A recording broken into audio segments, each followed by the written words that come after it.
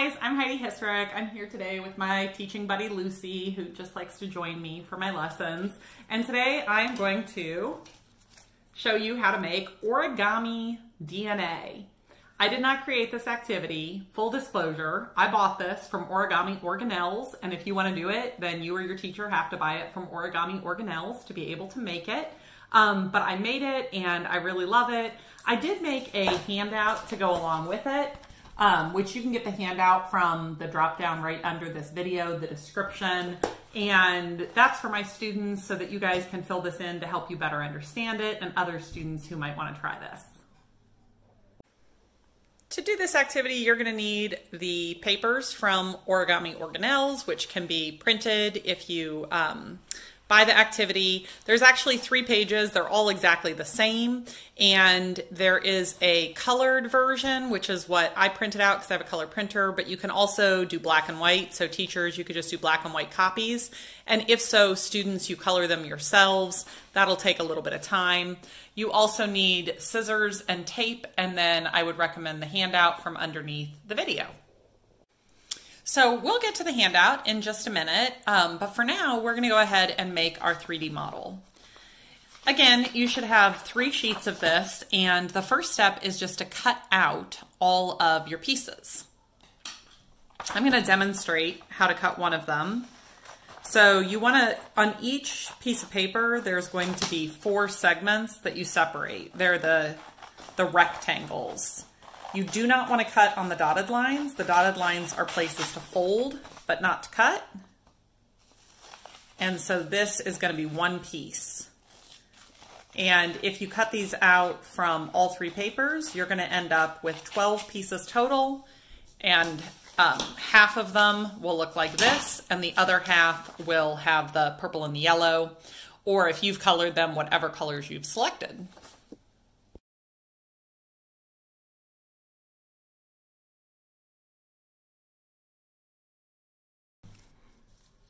Okay, we now have 12 of these rectangles. That took me about four minutes. So my perfectionist, it's probably gonna take you 10 or something. And if you're a chit-chatty perfectionist, it might take you even longer. Um, take all of these scraps and throw them away. You don't need them, so clean your work area. Stand up, walk to the trash can and get rid of them. So all you have left is this, your scissors, and your tape. Okay, so we have 12 of these. So now let's look at the handout. And there's a question on the handout that says, how many base pairs will we make in our DNA model? Each of these is a base pair. It will represent a base pair. So if you look at this, or if you count this, that's how many base pairs we're gonna make in this DNA strand. So let's think about how this is different from actual human DNA. If this has 12 bases, how many base pairs, 12 base pairs, how many base pairs do you think are inside of your DNA? Maybe you know, inside of your cells, in all the DNA. You have 70 trillion cells, give or take, they're really hard to count, inside of you. And every single one of them, almost, not the red blood cells, but everybody else pretty much has DNA. And that DNA is actually three billion letters long. So if we were to build that, imagine how long that would take. It's going to take 45 minutes or so to build 12 base pairs. 3 billion letters, 3 with 9 zeros after it. If you were to type on your computer and you could type pretty fast, you could type every day for 8 hours a day for 50 years to get that many letters. And if you filled up books with those letters, I don't know who would want to read these books, but A, C, G, T, T, G, C, T, J, A, whatever, it would fill about 5,000 books with just the DNA code to make you, just you. And that fits inside your cells, which are so small you can't see them with the naked eye. Every single cell, 70 trillion cells approximately. That's pretty mind blowing, I think. Okay, so let's move on to our model. So the next step is we're gonna fold each one of these in half. And when you fold them in half, you're folding them so that the white part is on the inside and they're identical on one side and the other. So this is just done so that any way we turn our origami DNA, we're going to get to see the letters, the words, the, the colors, and everything. Okay, so about three minutes later, we have our 12 base pairs now neatly folded so that we just see color on the outside. And the next step is that we're going to fold again. So origami, lots of folding. Now what you want to do is each piece, you're going to fold it so that it's like a Z. So kind of just like that. And this is on your paper. There's a picture of it and it says the picture below represents a base pair. And list the different base pairs that occur within DNA. So if you look at all your rectangles, what you should notice is even though you have 12 of them, there are only two different kinds. There are only two possible base pairs. And those base pairs are guanine to cytosine is one.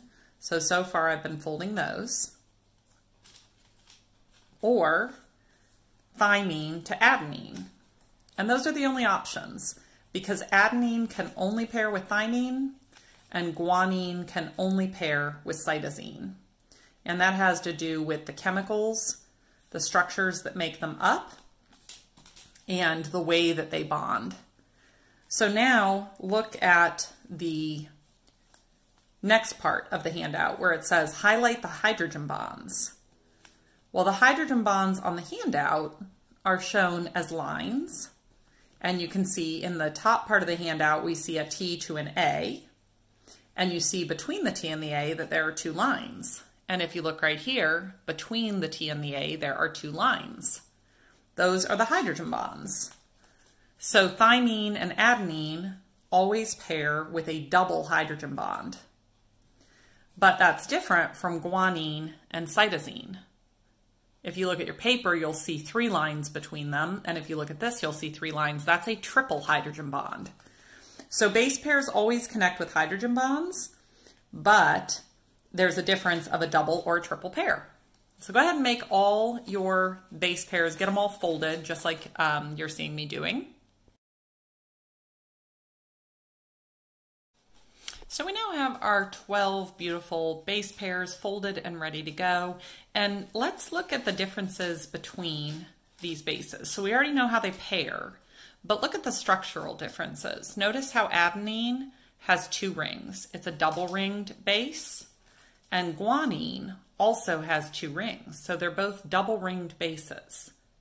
These are called purines. And it's just because of the structural similarities. They're classified together because they're both double ringed. Then look at cytosine and thymine. Cytosine and thymine are each a single ring, and so those are known as pyrimidines.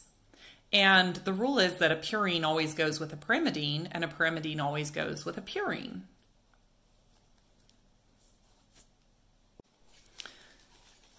For the next part of the assembly, you're just going to start connecting these like a ladder. So here's where we start taping. And what I found helpful is to tear off a piece of tape and then tear the piece of tape in half like that. And each sugar is going to connect to a phosphate, like so. Do not worry at all about the order. You could just do this with your eyes shut, flip them all around, because the order of nucleotides is different from organism to organism. And even in you and I, part of what makes us different is the difference in the order of the nucleotides. So as long as you have the bases paired correctly, which we already did, the order of the adenine, cytosine, guanine, etc. does not matter at all. So just start matching these up like a ladder and putting them together.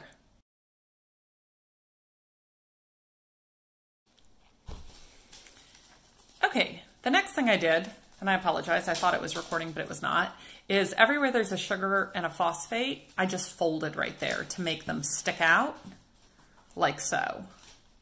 And that's going to help uh, with when we go to twist it. Then I turned it this way and I did the same thing, but before I taped this part together. I just folded every sugar phosphate bond and now I'm going to tape each sugar on this side to each phosphate on this side. Hopefully you now have a beautiful piece of DNA and you can twist it into its double helix shape. There's a little bit more to talk about in terms of the DNA. So there's a very important part to DNA, which is called the nucleotide. And we started with all of those nucleotides attached to each other. So I kept talking about base pairs, and we had 12 base pairs. But what are they pairs of? And what they're pairs of is nucleotides. So if you were to cut it apart, which you shouldn't do because you just did all that work, um, you would get 24 of these little nucleotides. And the nucleotides are the building blocks of DNA. They're the monomer that makes up the polymer of DNA. If you look at them, they're identical in that they each have a phosphate. They each have a deoxyribose sugar, which is where the D in DNA gets its name.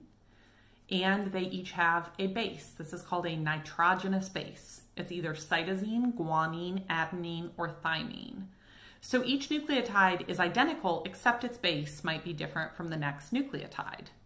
So you need to write that on your paper in the box where it asks what the picture represents. And you need to make sure that you learn the three parts of a nucleotide, the sugar, the phosphate, and the base. That's really, really important.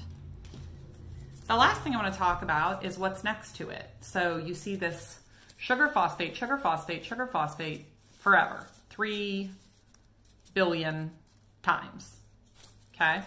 And that's called the backbone. So every DNA strand has a backbone on each side and the backbone is always sugar phosphate.